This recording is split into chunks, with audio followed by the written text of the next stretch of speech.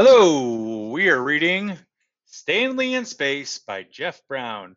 We are on chapter four in space. I'll just flip this omelet, said Mrs. Lambchop, making breakfast in the Star Scout. And then, oh dear, the omelet hovered like a frisbee in the air above her. Mostly, however, after weeks in space, the Lambchops remembered that gravity the force that held things down did not exist. Beyond Earth's atmosphere, Mrs. Lambchop often read now with her hands clasped behind her head, allowing Mr. Lambchop often read now with his hands clasped behind his head, allowing the book to float before him. And Stanley and Arthur greatly enjoyed pushing from their chairs to drift like feathers across the room. Raising her pan, Mrs. Lambchop brought down the omelet. After breakfast, what, what she said, A game of Monopoly? Please, not again, Arthur sighed. I'd, I, if I'd known that this adventure would be so boring, I'd never have come. The worst part, Stanley said, is not knowing how long it'll last. The beginning wasn't boring, Arthur said as they began their breakfast. The beginning was fun. The first days had to had in fact been tremendously exciting. They had spent many hours at the Star Scout's magnifying windows, watching the bright globe of Earth glow steadily smaller until it seemed to only at last only a pale marble in the black of space. And there had been so many special sights to see the starry beauty of the Milky Way, the planets, red Mars, giant Jupiter, cloudy Venus, Saturn with its shiny rings. The third evening, they appeared on TV news broadcasts on Earth. Word of their voyage had been released to the press, and all over the world, people were eager to learn how this extraordinary adventure was proceeding. Stanley, standing before the spaceship's camera, the Lambchops said they felt fine, looked forward to meeting the, the Tyrans, and would re- report nightly while re- they remained in TV range. The fourth eating was float they floated before the camera, demonstrating weightlessness. This was greatly appreciated on Earth, and they floated again the following day. By the sixth day, however, they were hard pressed to liven up the appearances. Mrs. Lambchop recited a baseball poem. Mr. Lambchop recited a baseball poem. Casey at the bat. Stanley juggled tennis balls, but the Earth but the Earth audience, knowing now about weightlessness, saw the balls float when he tossed them up. Arthur did imitations of a rooster, a dog, and a man stuck in a phone booth. After this, while Mrs. Lambchop was singing her college song, he went behind the plastic curtain to undress for a shower and accidentally pulled the curtain down. It was mortified and she tried later to comfort him. We will be remembered, Arthur, for one time for our time in space, she said. Nobody will care about the curtain. I will be remembered forever, Arthur said. A hundred million people saw me in my underwear. The next day was Stanley's birthday, and just after dinner, the screen lit up. There was the president in his shirt sleeves behind his desk in the White House in Washington, D.C. Well, here I am working late again, the president said. It's a tough job. Believe me. Happy birthday, Stanley Lambchop.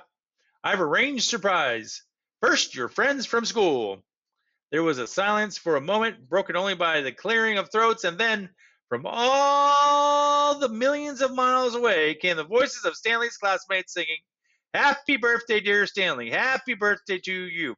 Stanley was tr- tremendously pleased. Thanks, everybody, he said. You too, Mr. President.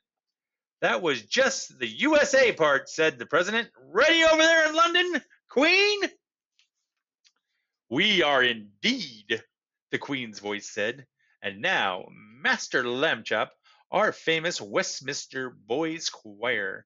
From England, the beautiful voices of the famous choir sang, Happy birthday, dear Stanley all over again, and then other children sang in from Germany, Spain, and France.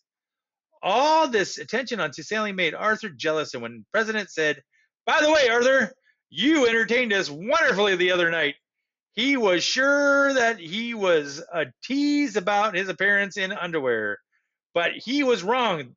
Those imitations, the president said, especially the fellow in the phone booth. Darn good.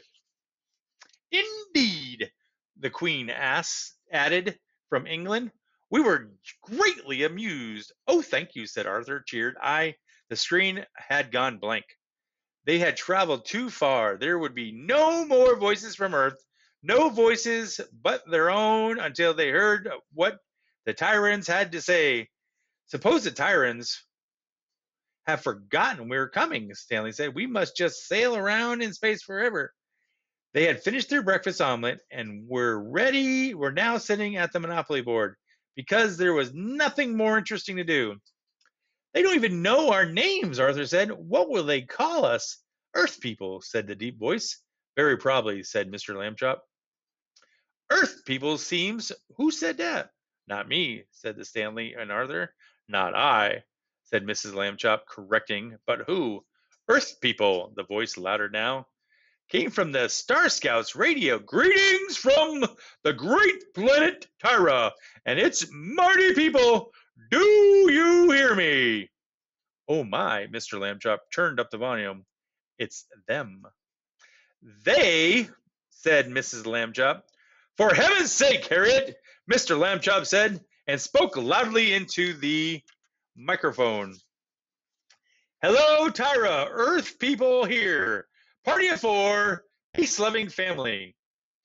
Peace loving family, said voice. Good, so it is mighty Tyra. Where are you, Earth people? Stanley checked his star maps. We're just where the tail of Ralph's comet meets star number three million and forty-seven. Now what? Right, said the Tyra voice. Keep going till you pass a star formation that looks like a foot. You can't miss it. Then, just past a lopsided little white moon, start down, you'll see a pointy mountain, then a big field. Land there. See you soon, Earth people. You bet, Mr. Lambchop said, turned to his family, the first contact with another planet. We are making history. They passed the foot shaped star formation, then the lopsided moon, and Stanley pointed to the Star Scout down. The darkness of space vanished as it descended, and at last the Lambchop saw clearly the planet it had been taken so long to reach. Tyra was a smallish, was smallish as planets go, but nicely round and quite pretty all in shades of brown with markings not unlike the oceans and continents of Earth. A pointy mountain came into sight, and beyond it, a big field. There's Stanley pressed the landing button. Vroom went the scout, scout, the Star Scouts rockets.